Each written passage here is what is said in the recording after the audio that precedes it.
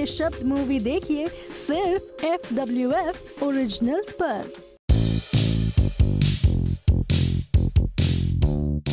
बॉलीवुड की देसी गर्ल प्रियंका चोपड़ा उन चुनिंदा अभिनेत्रियों में शुमार की जाती हैं, जिन्होंने अभिनेत्रियों को महज शो पीस के तौर पर इस्तेमाल किए जाने की परंपरा को सिर्फ़ बदला ही नहीं, बल्कि बॉलीवुड को अंतर्राष्ट्रीय स्तर पर भी विशेष पहचान दिलाई।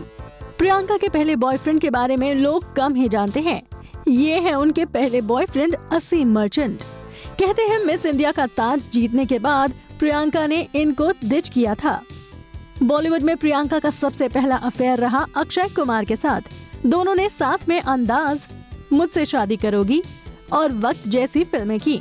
लेकिन जैसे ही दोनों की नजदीकियों की खबर ट्विंकल को मिली, अक्षय ने प्रियंका से बात करना बंद कर दिया। ऋतिक के लुक अलाइक हरमन बावेजा के साथ भी प्रियंका का अफेयर पाँच साल तक रहा था। लेकिन दोनों के बीच हरमन का फ्लॉप करियर आ गया।